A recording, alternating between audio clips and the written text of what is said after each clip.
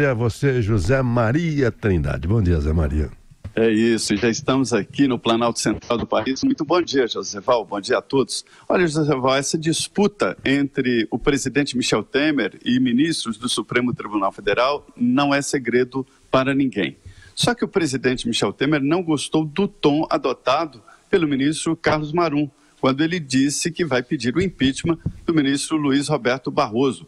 Isso não pegou bem nem no Congresso Nacional.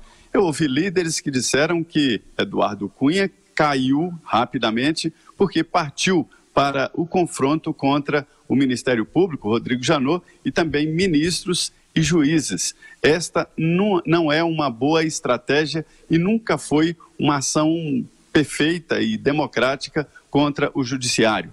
As reações estão aparecendo de todos os lados. As associações de juízes saem em defesa do ministro Luiz Roberto Barroso e todo mundo no Congresso acredita que é apenas o ministro Carlos Marum falando pelos cotovelos e que não há nenhuma chance de se votar o impeachment do ministro do Supremo Tribunal Federal, Luiz Roberto Barroso. O presidente Michel Temer recebeu também conselhos de líderes governistas de ou calar Carlos Marum ou mesmo trocar o ministro da Secretaria-Geral de Governo.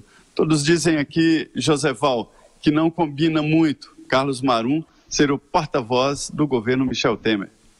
Ou combina, né, Zé, pelo nível do governo, né? Como é um nível baixo, moral, é, Marum está realmente adequado, porque você não pode pôr ali um Rui Barbosa para ser um porta-voz é, do, uh, do Temer, né? Que é semi-analfabeto. Então, a, a, e o Marum foi colocado lá, vamos lembrar, né, Zé? Para aprovar a reforma da Previdência, né? Uma das, das, das razões do que foi colocado o Carlos Marum na Secretaria de Governo é que ele ia facilitar a interlocução com o Congresso Nacional e aprovar a reforma da Previdência. Isso já se foi e tal. Agora, ele liderar a ofensiva contra contra o STF, e ele tenta fazer isso, aí é grotesco, né, Zé? Pois é, exatamente. Olha, quando eu digo que não combina, é, é, professor, na verdade os líderes falam exatamente isso, de que o presidente Michel Temer tem um, tem um estilo diferente, não adianta forçar. O estilo dele é diferente, né? É mais ali cordato, é mais é, é, tranquilo, e o Marum é explosivo. E sobre essa sua observação, ela é muito precisa. Os líderes chegam a dizer que esta Secretaria de Governo acabou com o fim da possibilidade de se votar a reforma da Previdência. Ela foi esvaziada ou praticamente não tem mais função porque o presidente Michel Temer não vai votar mais a reforma da Previdência e nem existem projetos grandiosos no Congresso Nacional. É uma insinuação de que a secretaria pode até ser extinta, mas eu duvido que o governo corte alguma coisa, principalmente em ano eleitoral. É, mas o Temer parece que ainda não decidiu, não, não desistiu. Hoje nós publicamos aqui uma palavra dele dizendo que se, se resolver o problema no Rio até setembro, ele ainda volta ao tema da reforma da Previdência. Olha que sonho. Ele até suspende a intervenção que ele falou. É, mas ele recebeu o recado de que nem reforma da Previdência, nem a pauta econômica.